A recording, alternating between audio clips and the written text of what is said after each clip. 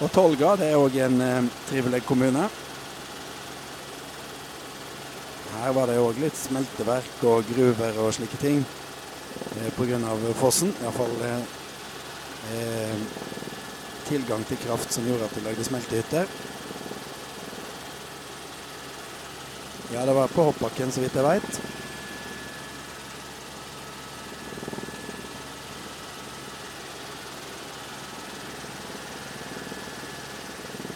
Så nære du tør.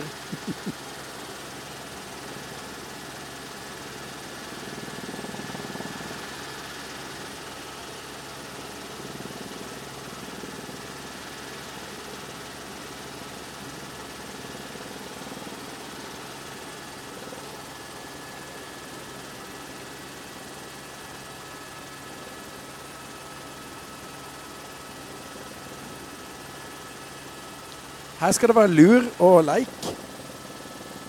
Lur, det er altså ikke bare å være smart, men det Ja, og de skal ha med seg da Magnar Storbekken, som må jo være i slekt med Egil Storbekken, som jeg snakket om.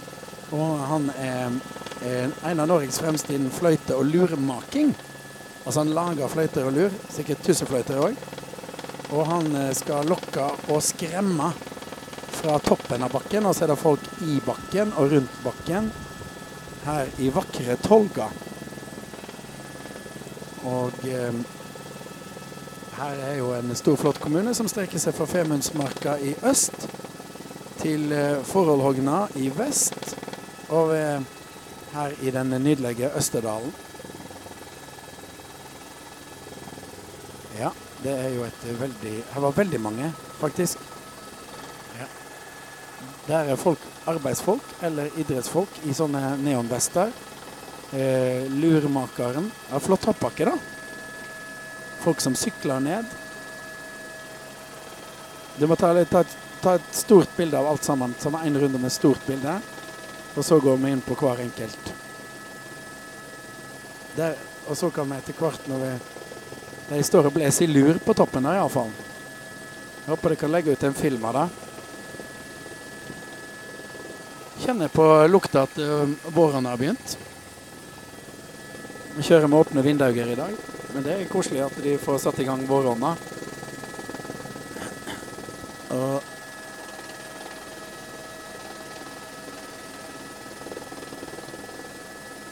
Tolga dyrker måltidet, står det.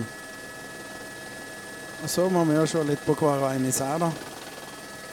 Hvis du se litt på de ulike gruppene som er samla her. Det er jo, kan ikke være mange fra Tolga som ikke er her nå.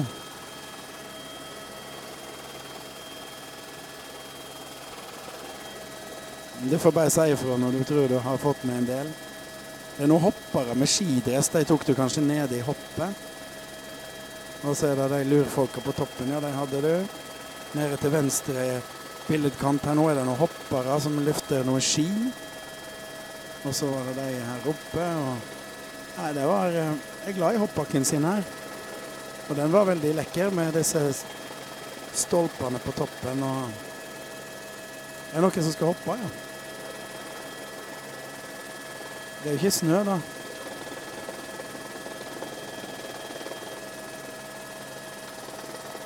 Jeg tror kanskje ikke du er helt sånn tungt inne i hoppsporten da, um, da er det, det er et visst underlag når de hopper på ski om eh, sommeren. Det er, på, det er ikke på stein. De hopper ikke på stein. Og så har vi litt forskjellige skoler i den vesle bakken. Så så det mer ut som kanskje litt voksnere, de som er i bunnen av den store bakken. Men i den vesle bakken her så står det, er det folk overalt. Der var det noen.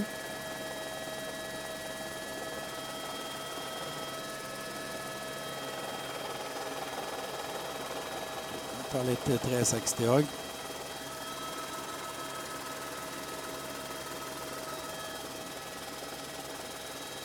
Det er barnehage, de som står her. Jeg sa, bar, jeg sa de som står øverst i den vesle bakken. Jeg trodde det var arbeidskarer, men det kan det jo være sjøl om de går i barnehage.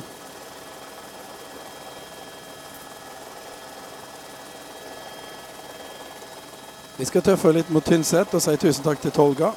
Vi har et tett program i dag, så vi må være litt eh, effektive.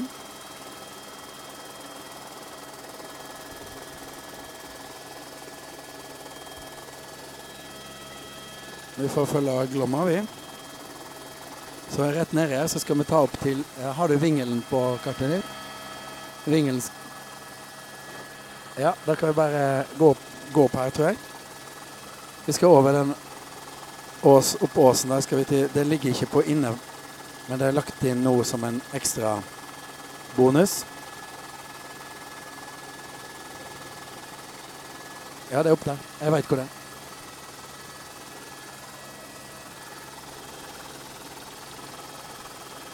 Jeg har vært um, på Vingelen flere ganger. Uh, ja, opp her. Rett opp her. Nei, det er ikke et fjell, det er bygd. Ligger bak åsen her, bare klokka tolv nå. Uh, det er kjent for uh, Jeg tror iallfall at du holder øye med kartet.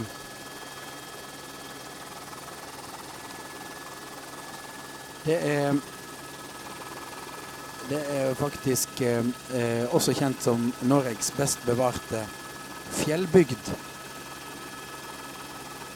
Og eh, det er det karakteristiske gardshusa fra Østerdalen som er så godt tatt vare på. Og det ligger så mange fine gårder her oppe. Og de har eh, det de mener kanskje er Norges høyestliggende ysteri på Eggen gård, Ola Eggen. Eh, der lager de blåmuggost og de har jo fantastisk mjølk selvsagt her oppe med med kyr som går og eter gresset her oppe i Vingelen.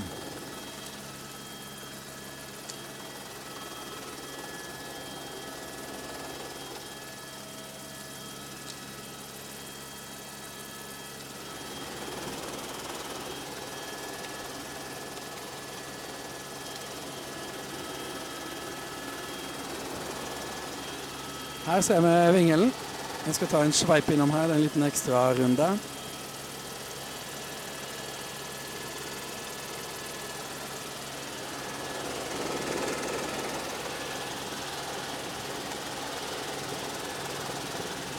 Eh, flotte gårder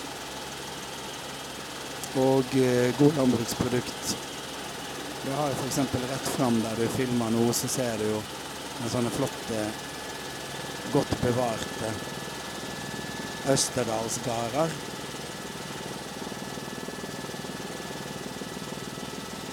Er et lite sentrum og til venstre i bildet som forsvinner akkurat nå.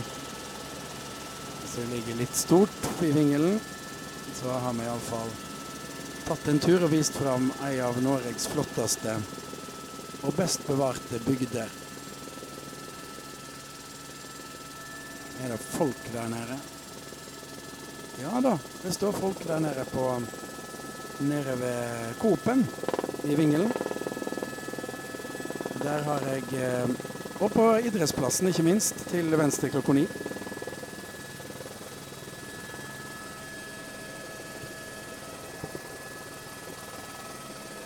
Så har det ute her klokka ni, så har vi folk fra Vingelen som eh, Og det er barnevogner! 1, 2, 3, 4, 5, 6, 7, 8, 9 Ti barnevogner. Det betyr at de har fått uh, rett ut klokka ni. Hvis du går litt stort ut, så ser du fotballbanen med norsk flagg på.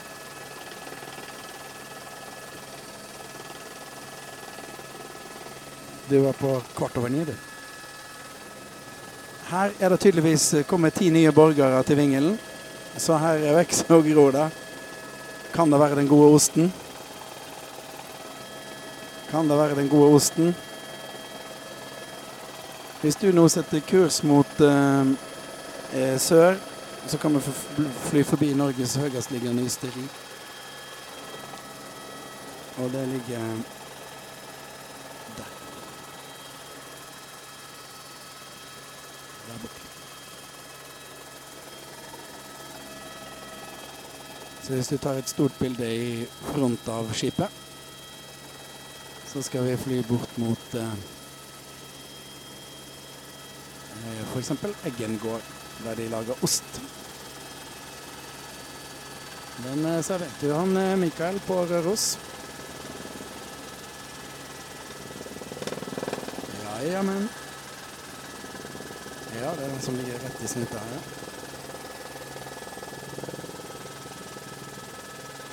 Der har de flagget oppe. Her er det bare å kjøre opp til Vingelen og kjøpe god ost.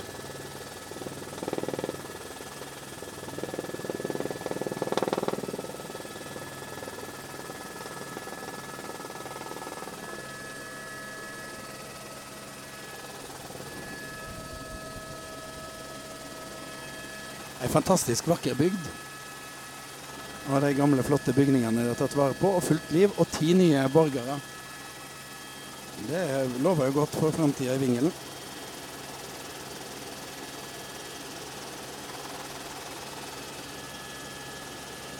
Ja, det er ikke sukker, det er kaldt. Det er nok det.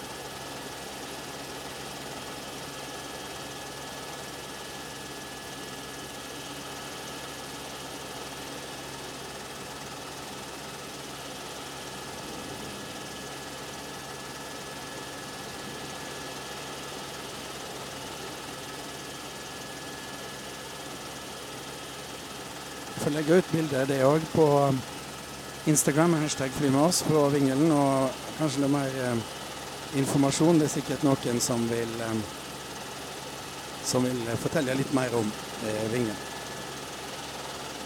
Det er altså ei fjellbygd der de eh, er optimister og eh, lager gode landbruksprodukter.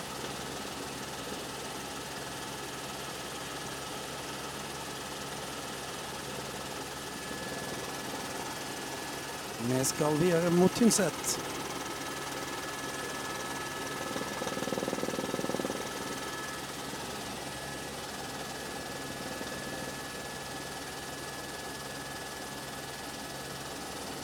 Og så er, der er det mye som skjer.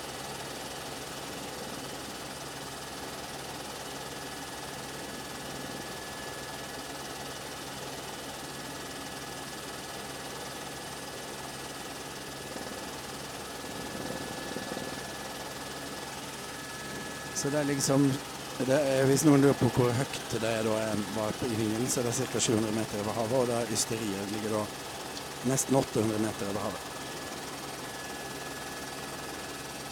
Det var iallfall folkefest i Tolga, og da får vi se hva naboene i Tynset klarer å varte opp med. Det ligger jo eh, på denne sida av det berømte Tronfjellet, som er 1841 meter.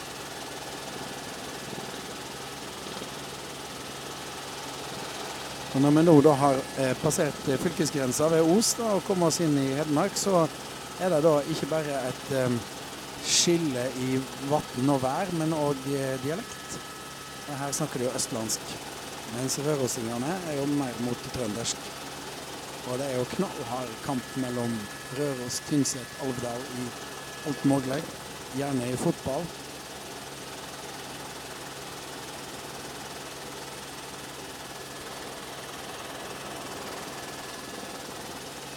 Vi følger Glomma, som går jo helt ned til Sarpsborg.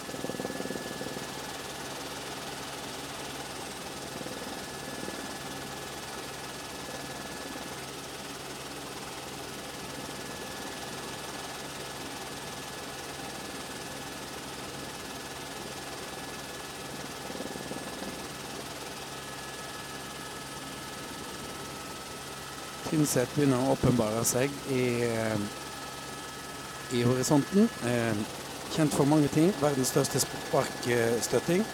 Norges styggeste rådhus. Det er faktisk kåret til Norges styggeste rådhus, så det er ikke jeg som mener. Jeg syns det er knallfint. Men det var NRK som kalte det til det. Det blir kalt for brunosten. Brunosten blir jo ikke laga her, den blir jo laga i Lom. Men eh, rådhuset er kalt da et av de styggeste. Foran rådhuset står verdens største sparkstøtting, som er 11,7 meter lang, 3,6 meter brei, 5,27 meter høy og veier 2000 kg. Det er jo landbruk de lever av. Det er jo ikke vanskelig å se når vi kommer inn til eh, Tynset. Og det er veldig stor mjølk- og kjøttproduksjon. Nydyrking. Og her har Nortura et stort anlegg. Og de lager den eh, prisbelønte Santa Cristina-skinka. Som vi òg fikk eh, smake sammen med alle de andre skinkene til, eh, som han Mikael hadde i um, gastropuben Berkel og Bar. Santa Cristina-skinka er jo en norsk versjon av uh, utenlandske brødre og søstre som Parma og Patanegra og slikt. Og mange mener at de er veldig nære. Og den blir bl.a. produsert her. De lager faktisk da 600 skinker her på Tynset.